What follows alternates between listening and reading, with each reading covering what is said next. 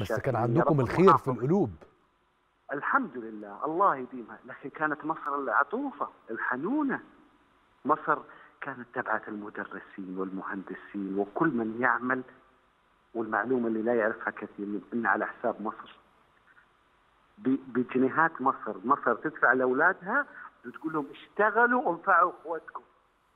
في مروءة أكبر من كده؟ في كرم أكبر من كده؟ إخوات. طبعا يعني بس شوف إحنا عندنا إحنا إحنا عندنا البدو إحنا نقول راعي الأولى ما يلحق. يعني صاحب الجميله الأولى ده ما تلحقوش ابدا ما ما توفوش حقه ابدا.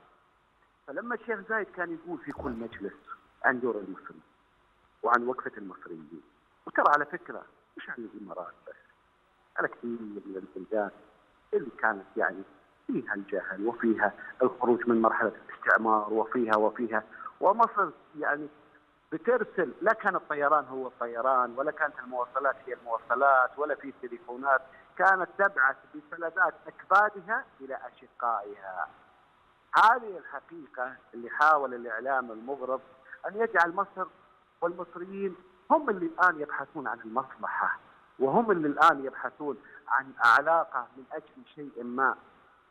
ارجع للتاريخ وارجع لأساسه وأعطي الرجال حقهم. الإنسان الفارس الحقيقي يعطي كل ذي حق حقه.